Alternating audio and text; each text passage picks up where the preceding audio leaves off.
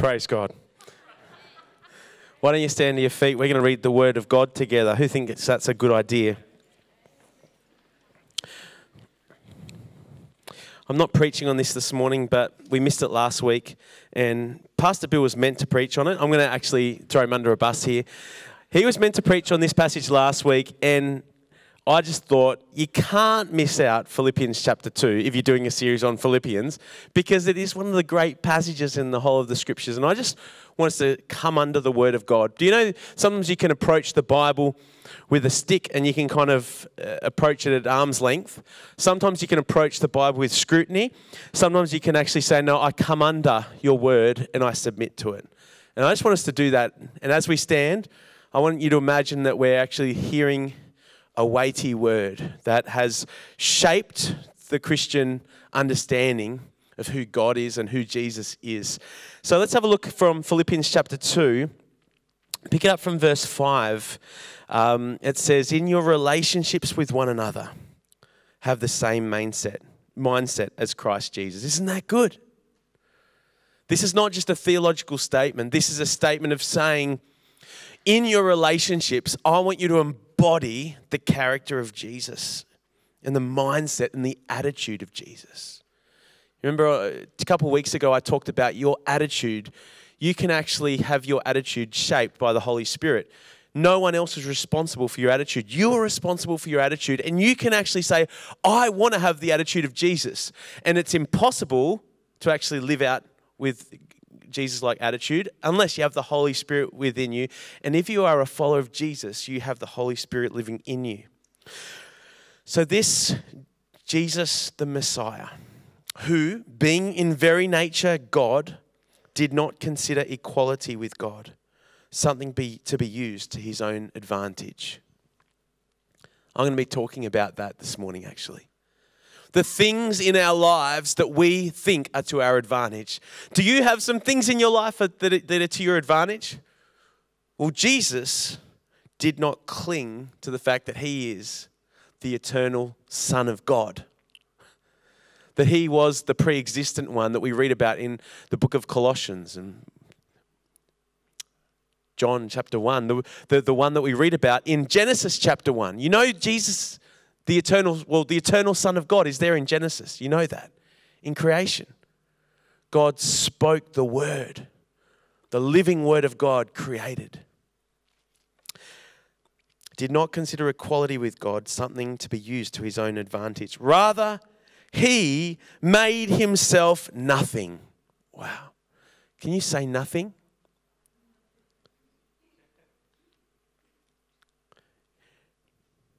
God made himself nothing.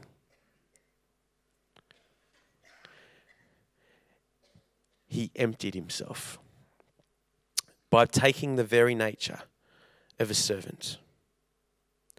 He didn't take the nature of a king. He didn't take the nature of a monarch. He took the nature of a servant. Being made in human likeness and being found in appearance as a man he humbled himself by becoming obedient to death, even death on a cross. Therefore, God exalted him to the highest place and gave him the name. You know, just why was he exalted? Therefore. It says, therefore. Because God the Son humbled himself and became obedient to death, even death on the cross. Because of that, therefore, God the Father lifted him up and exalted him to the highest place and gave him the name that is above every name, that at the name of Jesus every knee should bow in heaven on earth and under the earth, and every tongue acknowledge that Jesus Christ is Lord to the glory of God the Father. Hallelujah. Now, I want to tell you that the Bible here is saying that there is a day coming where every knee will bow and every tongue will confess that Jesus Christ is Lord. And this morning, I'm not going to do it right now. I'm going to give you some, some, some lead up time. But there are people this morning that you need to get your life right with God. And before it's too late, you get the opportunity this morning because of God's kindness, because of His grace, because He is a wonderful Father. He actually wants you to bow your knee to Him. And say, I love you, I need you. And to say, I will bow before Jesus because he didn't just live for me, he died for me and he rose again for me. And I don't want to push him away because I need him. I need Him, the Lord of the world, the Lord of all creation, the Creator God. I don't want Him just to be the out there God. I want Him to be the God of my life. If He's my Creator, I need to, Him to do a recreating work in my life because I've tried on my own and it's not working. And so I believe for some of you, you get to come home to God this morning. Praise God. Who believes that that might be God's will this morning? I believe that there's also some people here that you are a child of God, but you've been living like a servant. You've been living, it's like God is saying, I love you, I've called you, but you've been living away from God in your heart.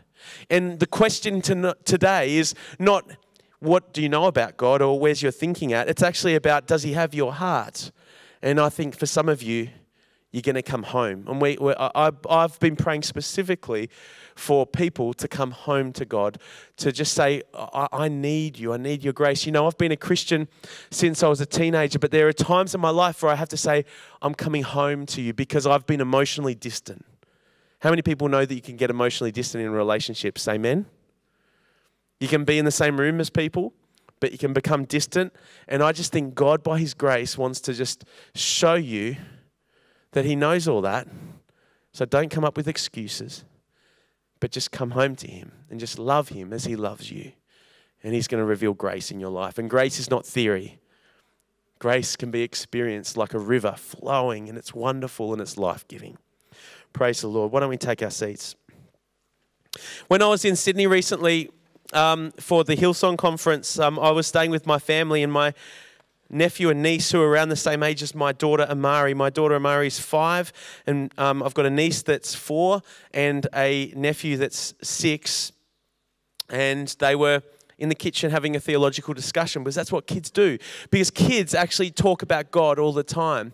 You know, just recently, my daughter goes to a, um, a Lutheran school and she came home, uh, actually, no, one of her friends who's never gone to church, never gone to Sunday school, started learning about Jesus, and then came home to her mum and said, Mum, why have you never told me about Jesus? I, I don't know why you've never told me about him. I want to learn more. I want to go to church. I want to go to Sunday school. So, um, in, in the class that we're in at this religious school, I think there's two families that actually go to church regu- regularly, which is amazing. And um, so, just the conversations because kids ask questions about meaning all the time. Because their favorite question is why. But mo- most of us have given up on the why questions. We just get we just get on with it. Because life's too busy to ask the why question. You know what I'm saying? And so we get on with life, but we stop asking the deep questions of life. Anyway, kids don't do that. They were having a conversation about um, the nature of the world, and um, I walked in, and then my, my niece accosted me, and she said, "Uncle Tim, do you want to be a Christian?" I'm like, wow. I was still waking up, and I kind of wasn't the question I was expecting. Um, and I said, yes, I do want to be a Christian, Mel. Um, I'm already a Christian. And then she was just going, oh, that's good. And then I said, well, what, is, what does it mean to be a Christian? It's a good question to ask. I reckon if I would ask you, what does it, what does it mean to be a Christian? Some of you would be like, oh, well, there's so many things. I mean, it's everything. But what does it mean? How do you actually answer that with simplicity and profound truth? What does it mean to be a Christian? And my niece just said, to be a Christian is someone that loves God. And I thought, Mel, that is pretty awesome that you know that. I think that is the most profound truth that to be a Christian is someone that, in response to the love of God, we get to love God in return we have seen Jesus and we get to love him. And we can't help but the Bible says his love compels us. That's that's and then her brother piped in, the older brother. And he said, No. To be a Christian is to obey God. And I'm like, Well, yes, Ben, you're right too. But I was just thinking about it. And it was actually, I, I shouldn't tell my sister this because she'll be annoyed that I'm saying it publicly. But there's something about his response that actually clashed with, with me. Uh, and I thought, of course, obedience matters. Anyone in relationship knows that obedience matters. Any father knows that obedience matters. I mean, I, for this last week, I have out of my mouth said to my daughter many times, Amari, I don't know want to explain it. I just want you to obey me. I mean, I just, sometimes that's it. That's all I got. Just obey me. I'm your dad. You're not the dad. Get on with it. One day you'll be a parent and you can be in this situation. Good luck. Um, so, now that I've lost respect of all of the parents in the room, um, or maybe I've won the support of all the parents in the room. So, obedience matters because if you truly love someone, you obey them, okay? If you truly trust someone, you obey them. So, in, in, and you can't, it's not slavery. It's not saying, do this for me to belittle your humanity. But if it's someone that you trust and know loves you and is after your flourishing, if they give you an instruction, you that's part of being in a covenantal relationship of commitment, okay? So actually there's obedience in marriage. And it's not just from the husband to the wife. There's obedience that goes both ways. Obeying, support, trust, respect. But I think most of us as Christians, we live in the obedience and the do's and don'ts realm of Christianity. And this morning, if nothing else, I believe that Father God is wanting to draw you back to Him and say, Do you love me? Do you love me? Do you want to spend time with me? Do you want to get to know me? That's, that's what I feel God would say to us this morning. Because when you get to know Him and when you grow in your love for Him, it will change the way you live and you'll be able to obey in ways that you have never been able to obey before. So in Philippians chapter 3, Paul um, continues, and we'll put this up on the screen.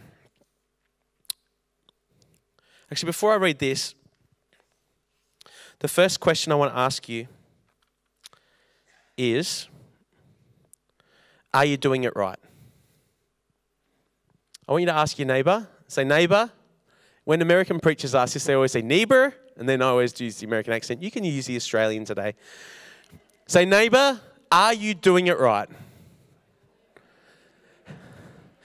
Have you ever had someone tell you? Now, I used the coffee analogy two weeks ago when I had someone tell me I wasn't drinking my coffee right.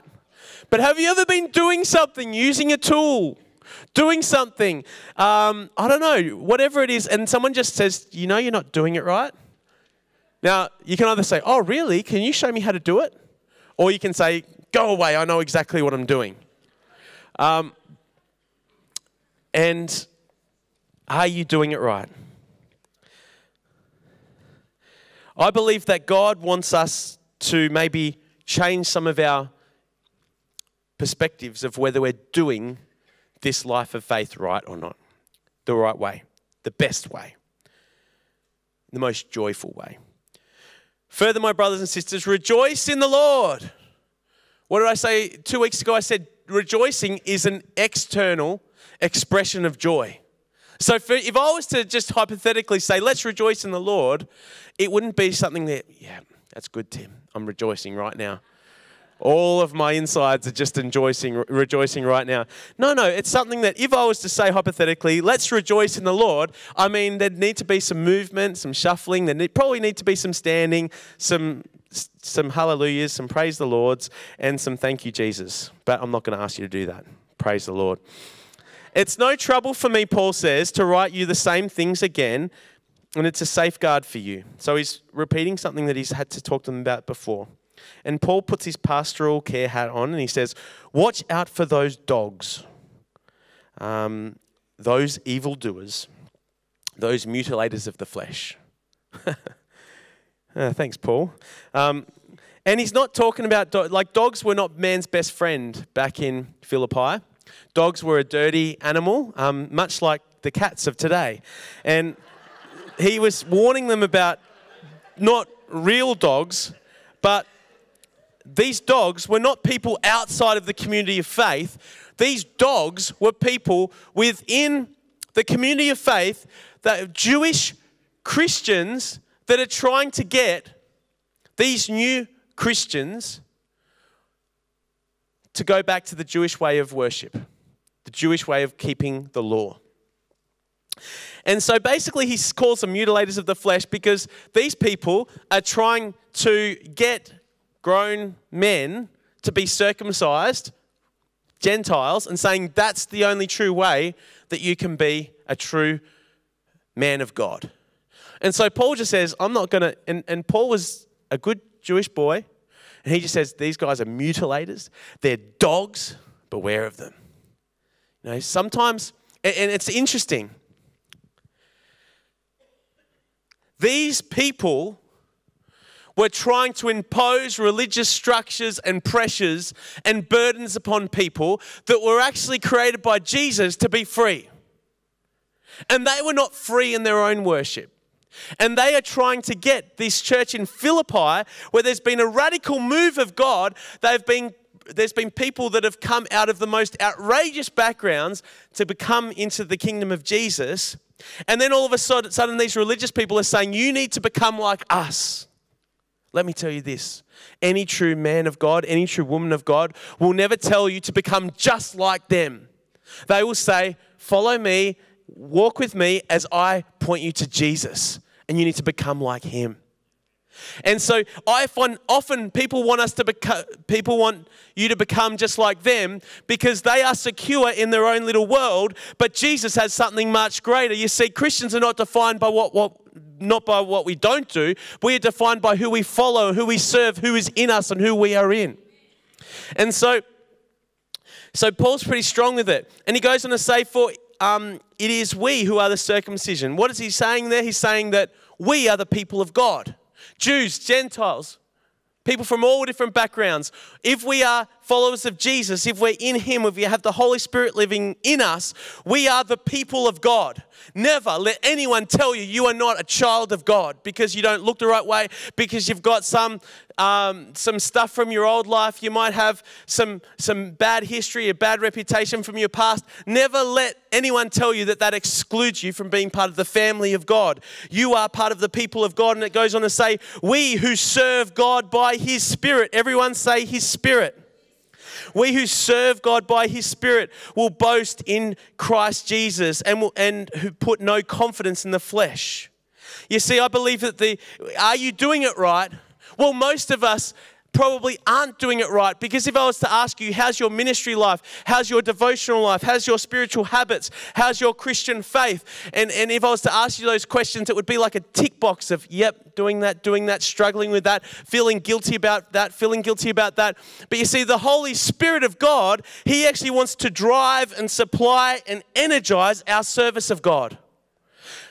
I use the analogy of if, um, say, hypothetically, a husband was to get in the bad books with his wife. And that husband, uh, the next morning, tried to make it up to his wife by making her breakfast in bed.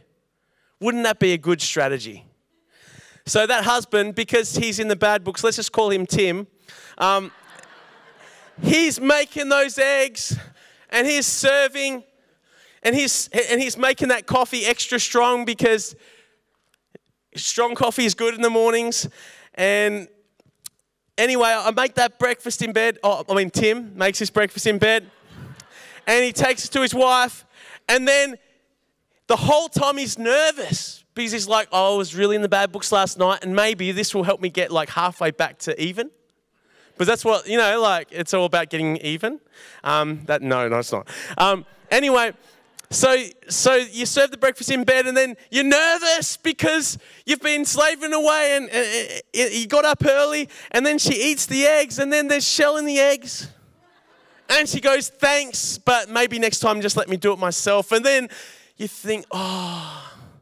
And then she drinks the coffee, and then she says, Not your best coffee, Tim. And then you're so secure. No, you're not. You're insecure. And then you get angry at her and then it explodes. And then this was meant to be so good. And then, and then she walks out and then she sees that you haven't done any of the dishes because You've done your duty, you've done the cooking, but you've left all the dishes. And you see, life is tiring when you serve out of trying to win favor. How many of you in this room are serving God out of trying to win his favor? Trying to win his pleasure, trying to win his smile. And it's tiring. And you're thinking, okay, I'm just, I'm a little bit closer to God than last week. Oh no, I'm a little bit further away. And whether it's leading a connect group, whether it's being a youth leader, whether it's um, serving in the creative ministries team, whether it's just someone that reads the Bible, and very rarely do you read the Bible out of pleasure, you read the Bible out of guilt. You're not doing it right. You should never read the Bible out of guilt. You should read the Bible out of saying, God, I love you and I want to discipline myself to hear from you. I want to get to know you more. And you see how different if I take my wife away. Uh, she's going to hear this and she's going to say, When's this happening? If I take my wife away on a romantic weekend without our kids, praise God. And and, and, and she's so happy we have a great romantic dinner. And then the next morning, I make her breakfast in bed because I just want to bless her. And because even if there's egg, there's shell in the egg, I'm not going to get in trouble. Because I know, or even if there is shell in the egg, she's going to love me anyway. She's just going to love being around a husband. Isn't that wonderful? As Christians, you see, the normal Christian life is that we serve God by His Spirit and we boast in Jesus Christ. And so we serve out of the overflow of the Holy Spirit and we boast in Jesus Christ. We don't boast in our achievements. So much of the problem of our Christian lives is we boast in the wrong things. And then when the and then when the things we boast about fall fall away from under us, we have nothing left to boast in. He says, we boast in Christ Jesus and put no confidence in the flesh. It's so easy to put confidence in the flesh. My next question is this to ask your neighbor. You say, neighbor, are your strengths keeping you from God? That's a good question. I've never been asked that question before, but I think it's a good one. Because I think so many of us think it's our weaknesses that keep us from God, keep us from intimacy. Oh, I'm just really slack, or I'm just really easily distracted, or I just, you know, I'm a bit flimsy in this area, or my Bible knowledge isn't great. Your weaknesses are not the things most likely to keep you from intimacy with God. Because He knows that and He loves you anyway. He's accepted your weaknesses. Now, some of those weaknesses He wants to help you in, but it's our strengths that we use to make ourselves feel like we're achieving stuff, to make ourselves self sufficient, to puff, our own up, uh, puff up our own self righteousness, and it's our strengths that actually keep us from God. The story of the New Testament is Jesus and the apostles challenging religious people that were proud in their strengths.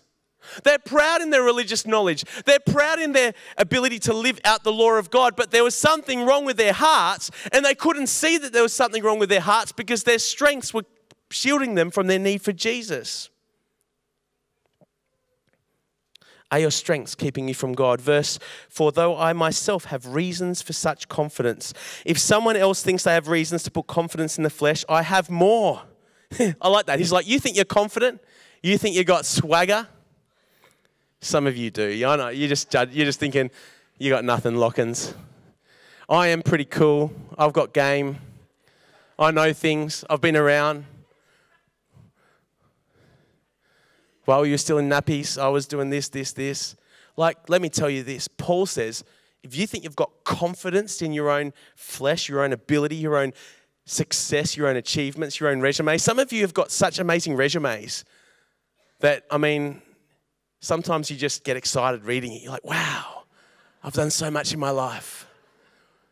I mean, look at, look at my life. And, and it's like we, we can.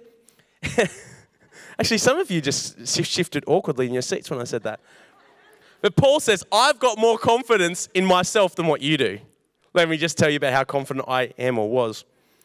Circumcised on the eighth day of the people of Israel, of the tribe of Benjamin, a Hebrew of Hebrews, in regards to the law, a Pharisee. And a Pharisee was a good thing back then, not a bad thing. As for zeal, persecuting the church. As for righteousness based on the law, faultless. Everyone say faultless. I don't know any human being that would say, I kept the Mosaic law faultlessly. But that's what Paul says. So, why did Paul have confidence? He was ceremonially clean. He came from the right family. He came from a rich heritage. He was passionate. He was an accomplished scholar. He is one of the greatest minds in the ancient world, and his writings are amazing. His understanding of the Greek language and of, um, and of Hebrew as well. He spoke Hebrew, and very few, um, few Jewish men spoke Hebrew back then. He was a respected leader. He had political power. He had influence. He was above reproach publicly to the point where there was no public sins where someone could say, Yeah, Paul's pretty amazing in this, this, and this area, but he's pretty weak in that area. But he is able to say, I am faultless. This guy has got serious swagger. He's got serious runs on the board. He is the real deal. He was not a religious hypocrite. He was a religious zealot and he had influence and he had political power. But you know what? You can have all those things and come to a point where you do not know God and you do not become a person that resembles Jesus. You see, some of us might think that the church, or even you personally, personally, but the church corporately needs to become more respected, needs more political power, needs more influence, needs to just be more above reproach. And if we can just improve, improve, improve, we will impact the world. But we can have all those things, but if our heart is awry, if we are about ourselves and puffing ourselves up with our own self confidence, then we will fail to resemble the character and the kindness and the mercy of Jesus.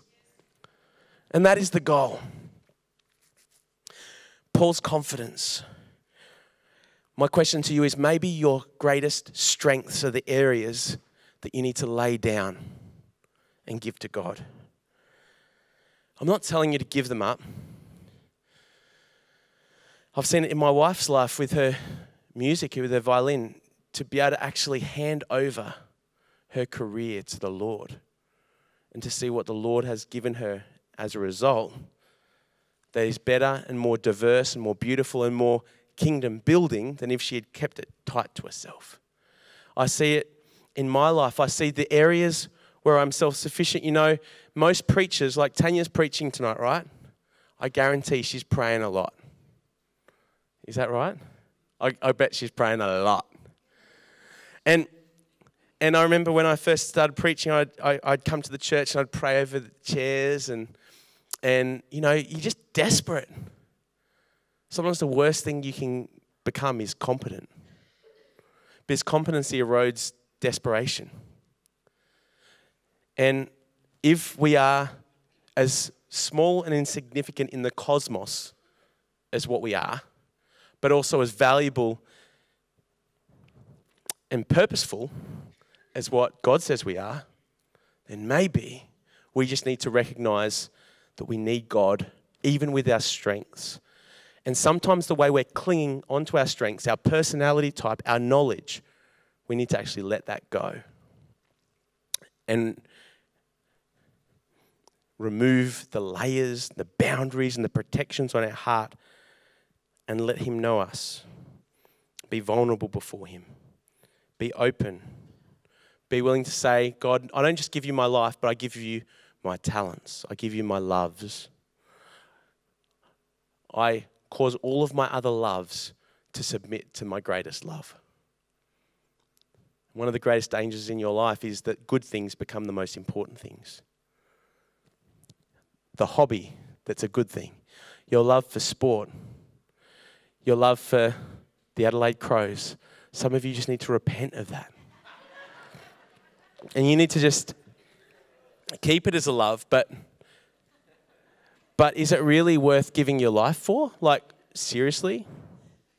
You know the Church of Jesus Christ will be around a lot longer than the Adelaide Crows. And it's been around for a lot longer. And I just think that's the thing. Anyway, I'm going to move on from the Adelaide Crows. I'll just let, I'll just let, I'll, I'll just let the Holy Spirit convict, convict you on that. Next question is this Are you willing to lose something to gain something better? I'm not going to tell you to ask your neighbour that because it's a bit personal. Are you willing to lose something to gain something better? Paul says this Whatever were gains to me, I now consider loss for the sake of Christ. What is more, I consider everything lost because of the surpassing worth of knowing Christ Jesus, my Lord. For whose sake I have lost all things. I consider them garbage that I may gain Christ. And being found in Him, not having a righteousness of my own that comes from the law, but that which comes through faith in Christ, the righteousness that comes from God on the basis of faith. Praise God. That's, that's some serious meat in that passage. You could just soak in that passage and just draw from it.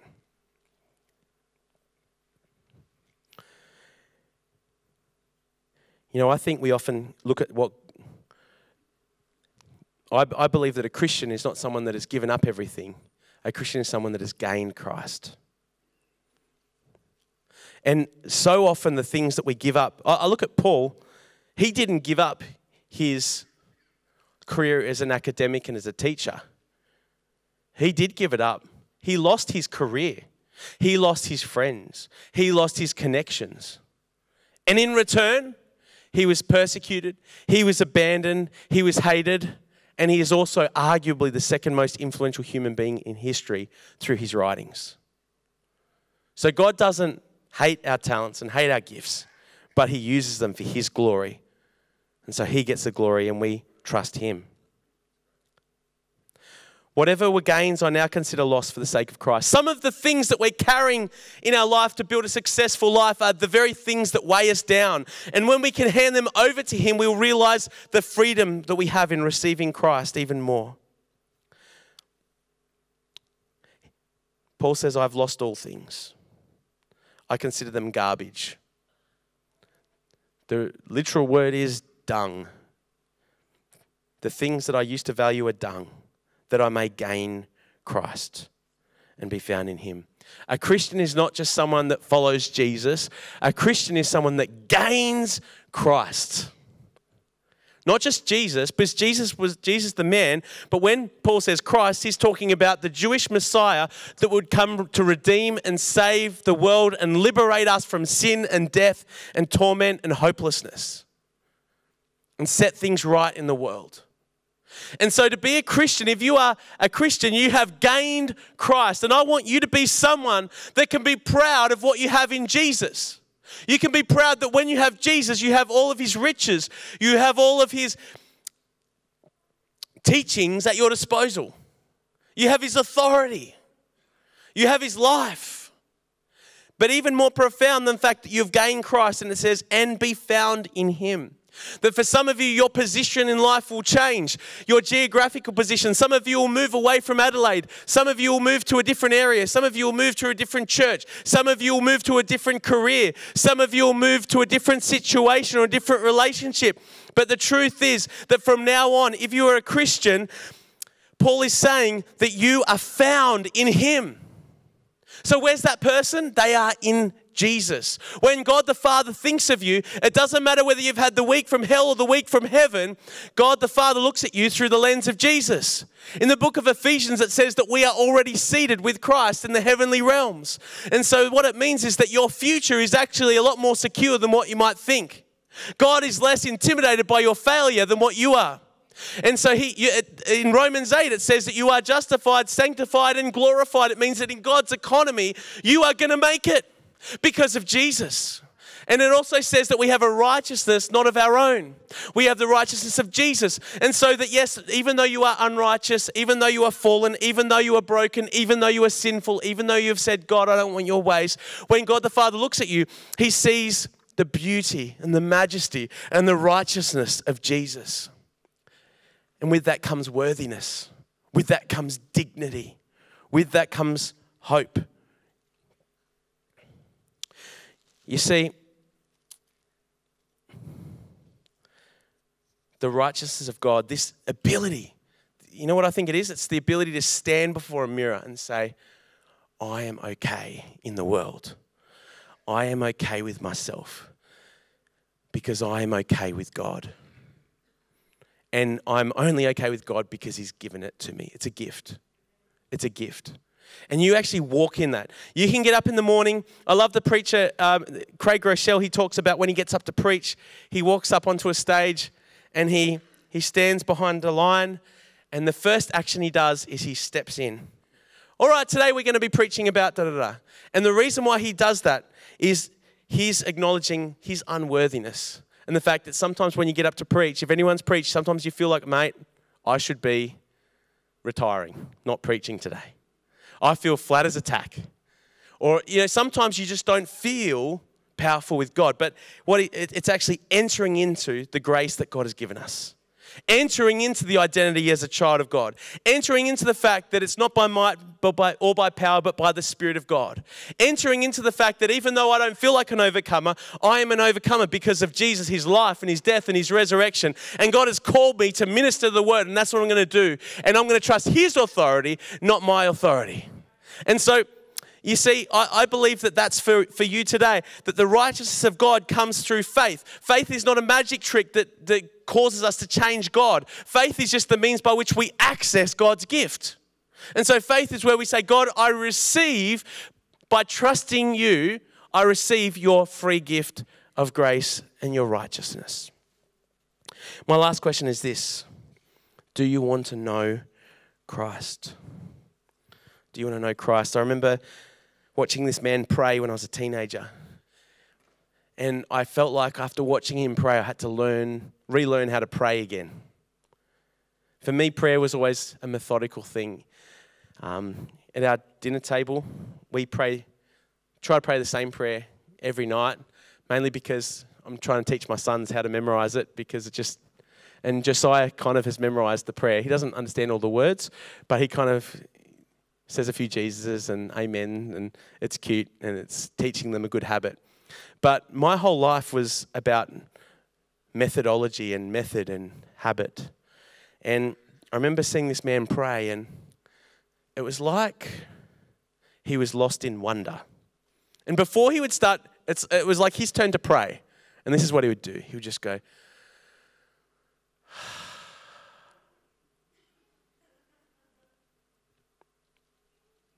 Oh, Father. And it was just like, Are you going to start? It's your turn to pray. We're going around the circle. And the next person can't pray until you finish praying. And it was like he was just marveling in the grace and the beauty and the love of God. And out of his heart came thankfulness, gratefulness. You know, Paul says in his letters, whenever I think of you, I thank God whenever I think of you. That comes out of a prayerful heart. Imagine if every time I thought about you, rather than thinking about what I, God, I pray that you change that in that person. I pray that you give that person this, this. No, I'm just like, nah.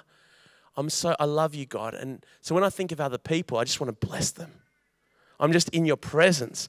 God, I don't want to ask you for stuff. I just want to know you.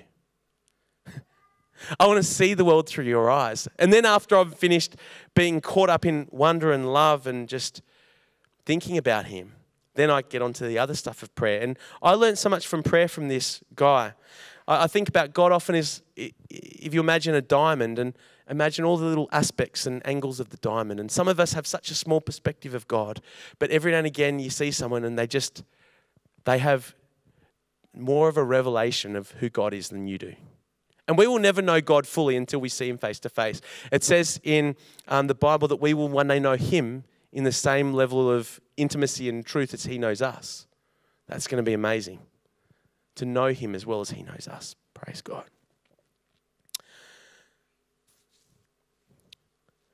Do you want to know Christ? Let's read verse 10. What does Paul say?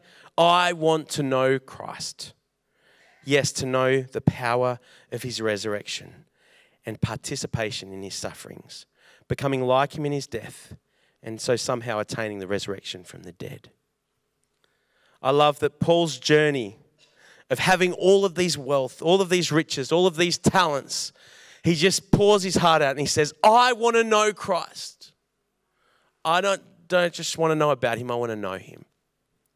That's what I think is God's word for you this morning. He wants you to want to know him, He wants you to need him. He wants you to love Him.